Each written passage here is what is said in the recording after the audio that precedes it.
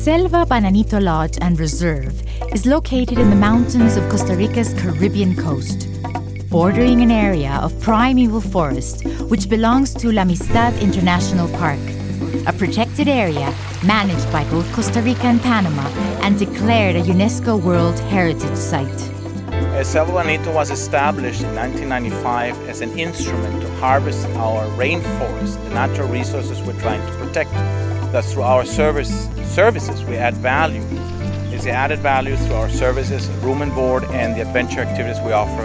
This generates income for us to be able to protect the rainforest. Selva Bananito's rainforest is breathtakingly beautiful and is home to thousands of plants and hundreds of bird species, including brightly colored toucans and fidgety Montezuma oropendolas.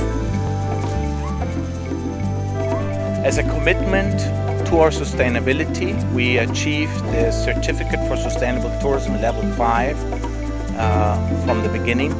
And this is a key element in order to be able to face the future. Future without sustainability, there won't be any. Committed to sustainable development, Selva Bananito offers visitors a variety of eco-friendly activities. Excursions through the rainforest, guided horseback rides apt for even the most inexperienced riders. Or if you prefer, just relax on the terrace while watching birds.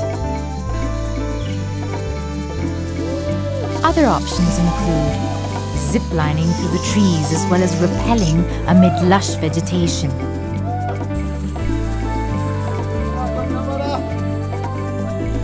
Still want more, try climbing a century-old tree.